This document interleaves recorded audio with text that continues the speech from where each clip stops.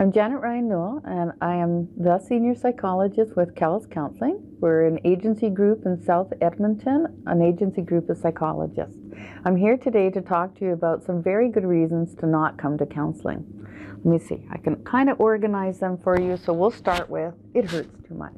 It hurts too much to come to counseling. It hurts too much to come to therapy and empty out the pain or the worry or the wounds or the distress or the confusion. And it's true, it does hurt.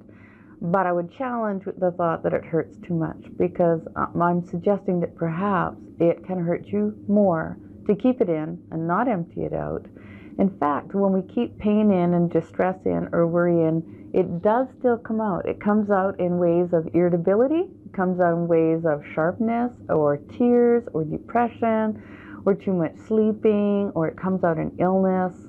It's important to let those feelings out. Another reason I hear about not going to therapy is it's selfish, it's indulgent, it's all about you. Well, the truth is, we have to learn to be compassionate to ourselves before we can be truly healthy and compassionate to somebody else.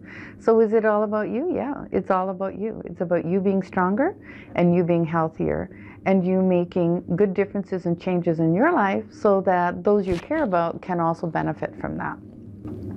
How about being embarrassed or ashamed?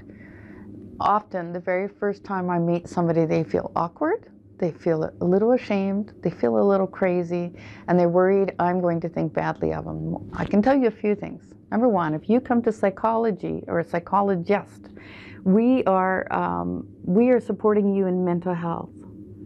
We are looking at you as people who, uh, in fact, we know you are not crazy. It is not crazy to get help.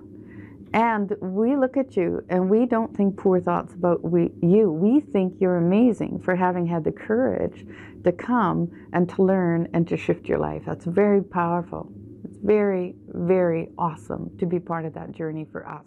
The last thing is some of you don't believe it'll work. Some of you think, well, it's expensive and it's long and it's it's not even going to work and I'm not going to be all better. And I went once I went and saw one guy one time told him my problems. He said uh-huh uh-huh and I wasn't better. Typically where you've gotten to in your life hasn't been a one-time event and it takes longer than one session to heal and to recover and to strengthen and to change your forward path. So mm, does it work? Yes, it does work. Does it work in one session? Probably not. But if it's about you and healing and recovery and getting stronger and becoming who you want to be in the future, that's not going to be a quick fix, but it will work.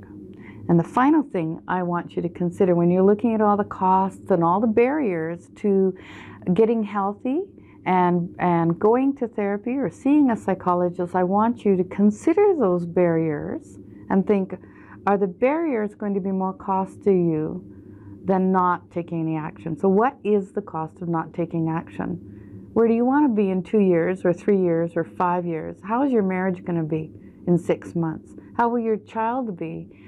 How will you be in one year if you don't get the help that you're looking for right now?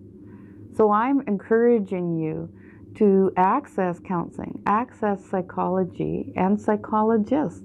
We're trained to be your support system to help you learn, grow. We have strategies, we have ideas, we use humor, and we want to be, be able to give you the tools you need to succeed.